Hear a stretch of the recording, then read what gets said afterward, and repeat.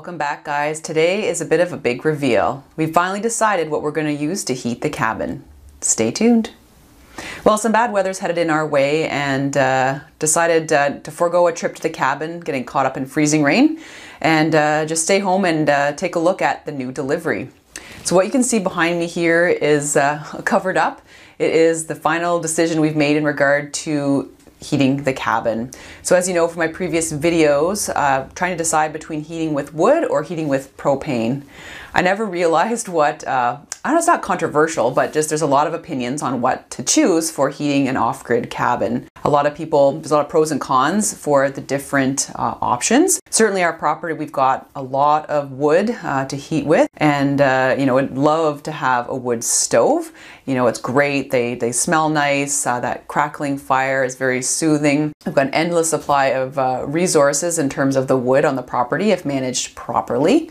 Um, but the cons that we were thinking of for the wood was certainly um, you know the labor involved in getting the wood. The biggest thing too was space. As you guys know, I talked about sort of you know distance away from combustibles that was required for a lot of the stoves we looked at, and the way we designed the cabin. Uh, we originally weren't thinking of you know even spending a lot of time there in the winter, so we didn't really budget that space. We looked at a lot of different models. We found one that uh, might work for us, and uh, but then started thinking, hmm, maybe propane would be the way to go. So we were taking a look at a lot of those different units. As you know, in one of my previous videos, uh, we were pretty set on uh, a really nice little propane heater that kind of looked like a wood stove. The pros for us for uh, heating with propane would be uh, basically that you know, they don't need as much space, you know, with some of those heaters. The offset from combustibles was a lot smaller, so that was attractive.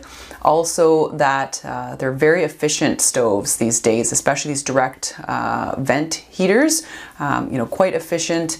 Um, a lot of them are a lot quieter, so that was uh, a pro. Cons, obviously, for propane heating are cost. Uh, and then, you know, you're looking at having a propane tank installed. So 100 pounders or you know 300 pound tanks, that's something that we have to consider as well and ease of access uh, for the, the propane company coming into the property or would we go off site with the propane uh, tank, you know, disconnect it, drive it to town, fill it up, maybe a couple times a season. So we'll see what we decided. And thank you guys so much for your input on it. I really listened to your comments. So in our minds, you know, we made lists of the pros and cons of the wood heating versus propane heating. Watched a lot of videos on, you know, installations of both. And uh, also to the insurance factor is really important. So our insurance company is going to charge us more per year to have a wood stove than uh, a propane heater. So what did we decide? Well, let's do the big reveal. All right, drum roll. There you have it. It's the 20,000 BTU Martin direct vent heater. So it's a propane heater and I'm pretty pumped uh, to have this installed at the cabin. Let's unbox it and see what it looks like. Well, there's the front view of the unit. It's a really slick unit. Um, it's about 23 inches tall, 26 inches long, and it's only eight and a quarter inches deep.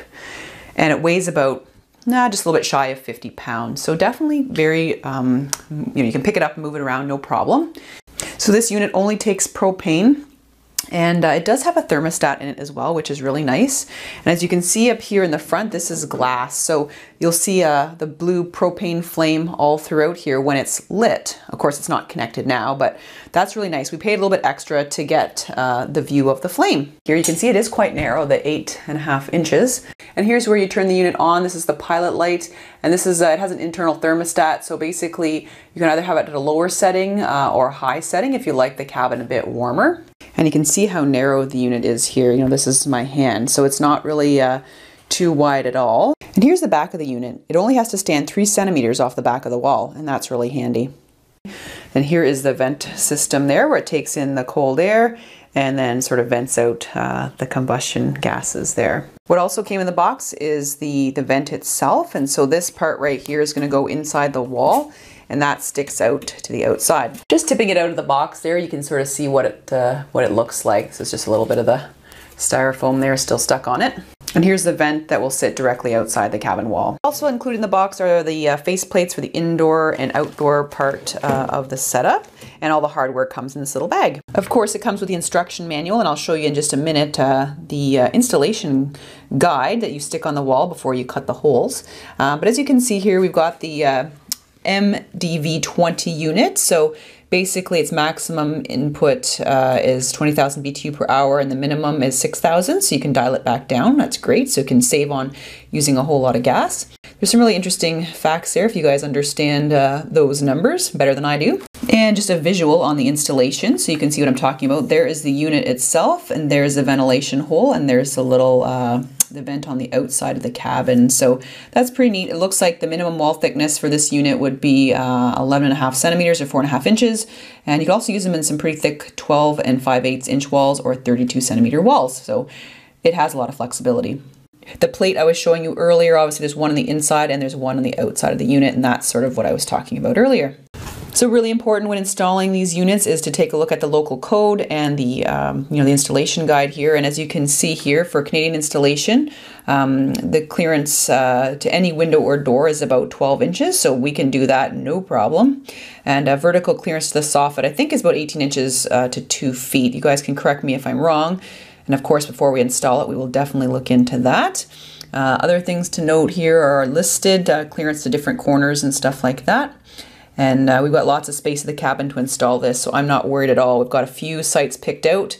One possible location could be sort of above the couch area, uh, you know, where we see that bookcase in the cabin. That bookcase can come down, the unit can go there, or possibly on uh, the opposite wall, uh, about 12 inches obviously from that window um, between the kitchen cupboard and the window. So other options exist as well, but those are two sites we're looking at for now. The other cool thing about this product is it is uh, distributed by a Canadian company, so it's always good to support local. This is uh, the diagram that comes with uh, the heater and basically you tape this to the wall and then you can cut out, um, you know, the heater is basically the large square around the big circle there. The circle is actually the hole that we're going to have to drill in the cabin wall. And as you can see, it's going to be a pretty big hole. And that's, yeah, that's to be a little nerve wracking because you kind of can't go back once you've drilled a hole through the wall like that. So you want to confirm your location twice and then only cut once or you'll be really sad. So anyway, this is really handy so you don't have to like worry about, um, you know, transposing something onto the wall. You know, this is just there and then you just saw through it. So I think this is a really slick unit so far. Um, you know, it's very portable. It, it There's not a huge uh, offset to combustibles which is great. Basically, we can just mount it on the wall and it's, I'm not gonna be tripping over it like I would with the way we've set up our cabin if we were to put in a wood stove and uh, we can you know scale back the heat. It provides a more even, clean heat. And I've heard that um, this unit is actually fairly quiet. I'll be keeping you guys up to date with what I think about this unit as we go along with it. So I've heard that this unit installs very quickly. Some people, if they already have the propane setup, it's probably a little over two hours from unboxing to getting it uh, set up in the wall and that's people that have already had a hole cut in the wall. So probably take us an afternoon to get installed. I've already have a phone call into the propane company and we'll have to decide what size tank we'd like. I'm thinking, I mean, the most practical will be for us to get uh, a couple of hundred pound tanks, then you can kind of switch them off uh, and take one into town to fill it up. Uh, we, you know, having the propane accessibility, yes, I know if you're a prepper, this is obviously a concern, accessibility, and, you know, the propane can run out. It's not something that's always available. But, uh, you know, something we've decided to do for now for our reasons. Like I said, my insurance will not be going up uh, with propane heater, whereas it would with wood heating. And will I miss the crackling of the wood stove? Yeah, I probably will. But the compromise here is getting the glass uh, on the front of it so I can see the flames flickering uh, to relax me while I'm at the cabin. So I'll be really looking forward to getting this installed in the next few months and then it'll be all ready for next fall. Um, you know, it's a little bit late to kind of get things going this season, but uh, we've got lots of time. So anyway, I want to thank you guys for all your input on the previous videos discussing this issue. Thanks again to Monica for uh, pointing me in the direction of this unit. I'm hoping this works out. I think it will. It seems like a good fit for us. All right, guys, weigh in on the propane versus wood heating issue. What are your thoughts?